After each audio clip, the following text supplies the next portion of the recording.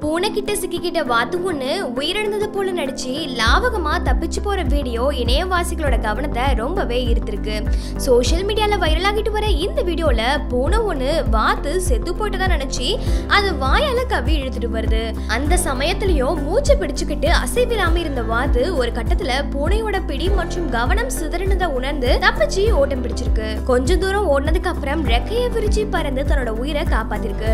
எதிரிகள் எவ்வளவு பலம் உள்ளவரா இருந்தாலும் புத்திசாலிதனமா செயல்பட்டா அவர்களை ஈஸியா வீழ்த்திடலாம் என்பதை உணர்த்துற வகையில இந்த சம்பவம் அமைஞ்சிருக்கு.